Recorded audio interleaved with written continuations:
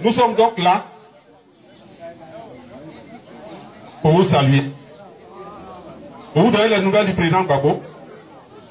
Vous donner les nouvelles de vos camarades, nos frères qui sont en prison depuis cinq ans maintenant. Vous donner les nouvelles aussi de ceux qui sont en exil au Ghana, au Libéria, au Togo, au Bénin. Nous allons parler du procès qui se passe actuellement. Et puis nous allons parler aussi de ce qui se passe en Côte d'Ivoire aujourd'hui. Et puis on va terminer par ce que vous, vous devez faire maintenant au stade où on est arrivé. C'est pour cela que nous sommes là. Le président Laurent Gbagbo, comme vous le savez, il va bien. Quand nous disons qu'il va bien, nous ne le disons pas pour que vous applaudissiez. Nous le disons pour vous donner des nouvelles, les vraies nouvelles fraîches venant de chez Gbagbo. Parce que quand le procès a commencé, en janvier, le 28 janvier dernier, le président Gbagbo a envoyé 20 cartes à son frère, à son vice-président, le président Aboudraman Sangaré, pour dire, comme je suis le président du FPI, et que c'est toi qui es mon premier vice-président là-bas, je t'envoie 20 cartes pour que tu désignes 20 personnes qui vont venir assister à l'ouverture du procès. Et c'est comme ça que 20 personnes ont été mises en mission par le président Abdraman Sangaré et puis ils sont partis à La pour assister au procès. Sur les 20 personnes qui sont parties, là, il y a 4 qui ont pu avoir rendez-vous avec le président Gbagbo, parler avec lui, donner les nouvelles de Côte d'Ivoire, et puis prendre aussi ses instructions pour envoyer, donner ça au président Sangaré. Donc ce sont les quatre personnes.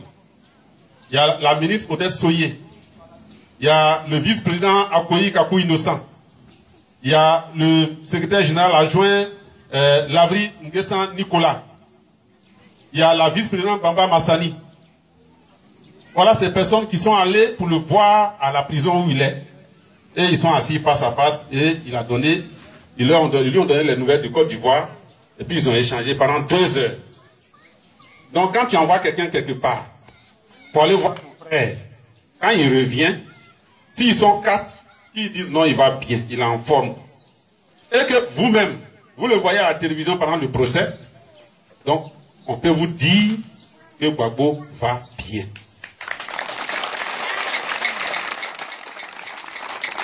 Et quand nous disons qu'il va bien là, ça veut dire que il dit que lui, il est là. Il n'a pas de problème. C'est les gens qui l'ont mis en prison là, c'est eux qui ont problème maintenant. Lui, il n'a pas de problème. Et tout à l'heure, je vous dire pourquoi Babo n'a pas de problème. Pourquoi Babo n'a pas de problème, c'est eux qui ont des problèmes. C'est eux qui ont à gérer. C'est eux qui ont une honte à gérer. Lui, il est tranquille, il est serein, il attend. Comme chez nous au village, mon frère qui est assis là, qui prête, dans son village, les gens font la lutte. Quelqu'un qui est champion de lutte dans un village, tu viens d'un autre village, tu ne connais pas, et puis tu le provoques. Il fait un faux pas, et puis tu le luttes. Tu es sur lui. Ça crie, oh, il a lutté. Lève-toi maintenant. Donc, pour lutter le, champion là, c'est pas facile, c'est pas difficile, mais c'est comment tu vas faire pour t'élever là, c'est qui est le problème. Comment tu vas faire pour te lever? Tu es sur lui, tu ne peux pas bouger parce qu'il a attrapé tes testicules, tu ne peux plus bouger. C'est encore des ça tu ne bouges pas. Maintenant, tu demandes pardon. Tu demandes pardon pour qu'on arrête le combat. Tu dis, mais c'est toi qui es sur lui. Comment tu, tu demandes pardon encore? Parce qu'il a attrapé tes testicules. C'est dans ça on est actuellement. C'est dans ça on est actuellement.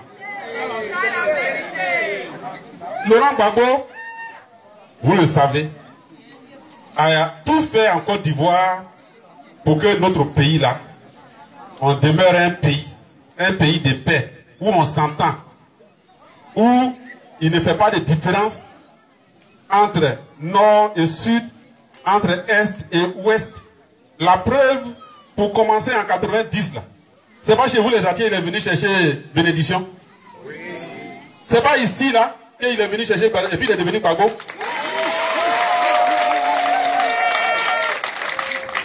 C'est ce Gbagbo là. Que un matin comme ça pour rien, parce que les blancs ne veulent pas de lui. Parce que lui là, il n'est pas le genre de président qui le lundi matin va appeler à l'Elysée pour demander au président français, bon, comme la journée va commencer là, je veux savoir ce que je dois faire. Il n'est pas un président comme ça. Il n'est pas un président qui appelle les ambassadeurs de France ou des États-Unis pour dire, voici la carte du sous-sol de mon pays. Pour appeler tes gens là, chacun va choisir le puits de pétrole qu'il veut, où il y a de l'or, il n'a qu'à choisir, et puis le peu qui reste là, je vais donner à mon peuple. Il n'est pas un président comme ça. Il n'est pas un président qui demande l'avis de l'ambassadeur de France avant de former son gouvernement. C'est à cause de tout ça là. Après dix ans, dès qu'il a pris le pouvoir, même pas après dix ans, dès qu'il a pris le pouvoir, deux ans après, ils ont dit lui là, on ne doit pas le laisser aller loin. Et c'est comme ça, ils ont, ils l'ont fatigué, fatigué, jusqu'à le 11 avril. Ce qu'on n'a jamais vu dans le monde, un président est dans sa résidence, et puis un autre pays le bombarde jusqu'à on s'en va l'attraper pour donner à son ennemi.